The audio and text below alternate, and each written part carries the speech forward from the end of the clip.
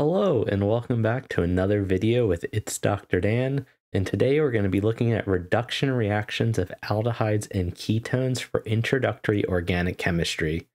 So what we're going to be specifically looking at is aldehydes and ketones are reduced by the addition of hydrogen in the presence of a metal catalyst. Meaning that when, when we say that word reduced, what we want to be able to think about is reducing the number of oxygens and adding hydrogens. So if I have, let's say, the following example here, where what, what we're going to be doing is reducing the number of CO bonds by essentially opening the doors like how we did in an addition reaction.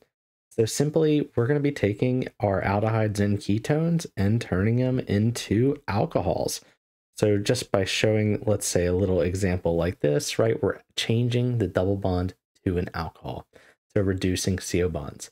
So in this video, we're going to go through mechanisms, trying to understand that entire reduction process for us to and going through multiple examples of that. So please stay tuned and let's go into how this reaction works.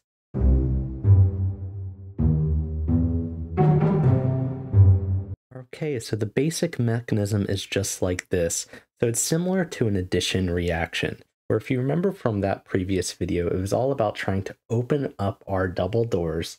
So meaning if I have a double bond, CO double bond, we're going to be opening up just like a little cabinet. And when I open that up, we're going to be adding something to each part. So if I have my bond here, the way that this is going to be shown is we're going to have a reducing agent that is going to be changing this particular and causing this reaction. So typically it's written with an H. Sometimes you might see it written with an R as well to represent, hey, this is going through reduction. There will typically be some kind of catalyst as well. Depending on your class, every teacher is a little different. They might try to tell you exactly how much you need to know. So if we redraw our carbon structure, the only thing that is changing is our functional groups but we are also adding two components. So as I mentioned, we're going to be opening up the doors. So that is our double bond here. Notice how we're opening it up. And what we're going to be doing here is as we open up those doors, we are adding hydrogen, right? So we're adding hydrogens to the double bond, uh, just like I have written up here. So when we open that, we can see that, okay, here's a hydrogen on each individual part. So we have on the left-hand side an aldehyde turning into a primary alcohol when that happens. Okay, so aldehyde goes towards a primary alcohol, and that is for this particular reduction example. Let's go on to into both of these, looking at aldehydes and ketones specifically. So like we were just doing previously, you could see that an aldehyde we are opening up those doors and we're adding on the hydrogens onto each component. So an aldehyde is always going to turn into a primary alcohol. Now, what about ketones? Well, ketones can also reduce as well. So a ketone, being that it's in the middle of the chain, this is going to turn into a secondary alcohol. So it's going to be the same general reaction though. We're going to be opening up those double doors on our carbon-carbon double bond. So what we're going to do is take our CO. We're going to just slightly move around our R groups just to help make room for our cabinets to open. We'll put a door on each carbon and oxygen. And what we're going to be doing is adding a hydrogen to each one. So as you can see, we go to a secondary alcohol versus primary just to kind of review what that means in case maybe you don't remember from organic chemistry or previous weeks in your courses. So the whole idea is that, okay, when we have, let's go to the primary example, is if we go to this carbon that's attached to the alcohol, you're going to count how many R groups there are next to the carbon with your alcohol. So what I usually do is put a little star and I count how many R groups there are next to it. So this top one is a primary versus this one, we star the carbon with the alcohol and we see one and then two is how we would look at this particular reduction. So primary and secondary alcohols can reduce. Sometimes you can also see where a carboxylic acid can reduce as well, where that can go to an aldehyde and then to a primary alcohol as well. Let's go through a bunch of examples and try to understand and review this process together. So, in a lot of your chemistry classes, the way that these are going to be presented to you is to predict the products of the following reaction, which is a common exam, quiz, homework problem that you'll see in an introductory organic chemistry course. So for this one, what we have for the very first one, we can see we the first thing we have to do is identify what is our functional group. And so that way we have an idea of, well, what do we expect? Well, we can see that we have the C double bond O and it's in the middle of a chain. So whenever it is in the middle, this is our ketone, right? So in this case, what does a ketone turn into? Well, if you can remember how is the functional group changing, it can help guide your thinking and how exactly to pick your final answer. So ketone is going to go to a primary alcohol. So when we do this, remember from before, we're going to be opening up the double door on our double bond. So when that opens, we're adding a hydrogen to each individual part. So let's redraw our structure, right? So keeping the base compound portions here. And then now we're going to draw our doors on the carbon that this O is connected to, as well as the, the carbon and the oxygen, right? And now what was the whole idea with reduction is we're adding a hydrogen to each component. So just like this, we have now an extra hydrogen on each part. So just to kind of clean that up for ourselves, because it looks a little wonky, it's going to be the same thing as saying, hey, we have this 2-propanol is what is going to be created from the reduction of 2-propanone.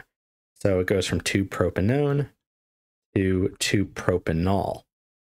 Now, with the next one, all right, well, it's the same general idea, right? We have a benzaldehyde here. So benzaldehyde. How will that go through a reduction, oxidation? We want to go through that entire little checklist for ourselves. So being that's an aldehyde, a double bond, it can reduce, right? So same thing as before. We're going to be essentially opening up that little double bond. So let's make this a little easier on ourselves. We'll copy and paste the structure here.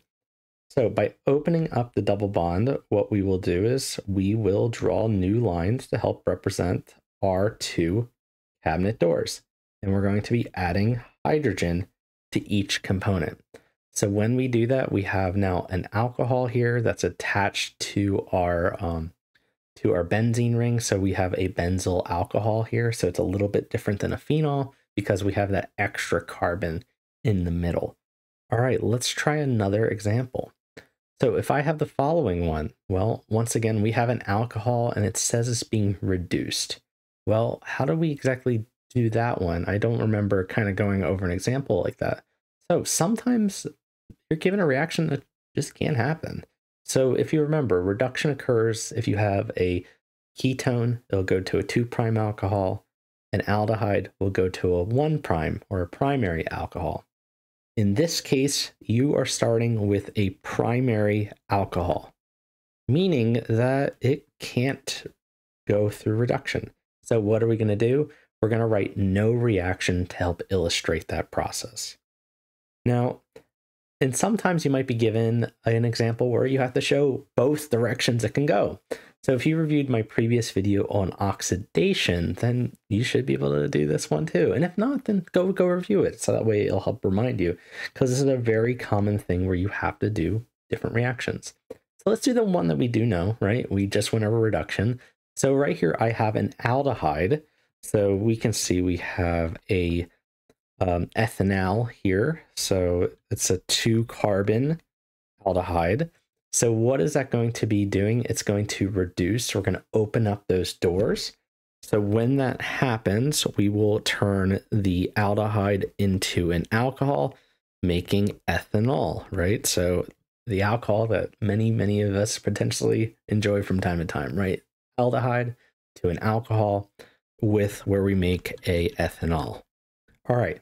Now, is that it? Well, we have this other part here all about oxidation.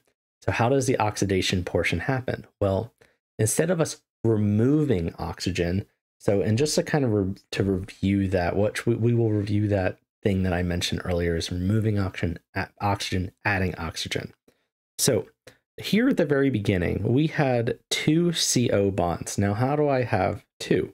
Well, if we zoom in on this aldehyde, we can color in the two lines here and we can number them as one and two. So you had two bonds. When in the, the uh, out in the reduced structure, notice that we only have one CO bond. So you go from one, so you went from two to one, you reduced the number of CO bonds, right? Or you added hydrogen. Now, when it comes to oxidation, it's all about adding oxygen. So we have we have three CO bonds. In this particular case, I'll go to a C double bond O with an OH group or a carboxylic acid. So in this case, it's going to make acetic acid, or also commonly known as vinegar, right? So you can go from ethanol all the way over to acetic acid. So a very large different opportunity of reactions. So this has been the world of reduction. I hope this video helped you. And if it did, please hit that like and subscribe button and please comment below if you'd like to see future videos and to let me know what you think about them. And remember, these are for introductory chemistry. They're meant to just kind of give you a basic idea of reduction. Um, hope this will help you practice problems and to do more. This has been Dr. Dan, and I like to see you all later. Bye now.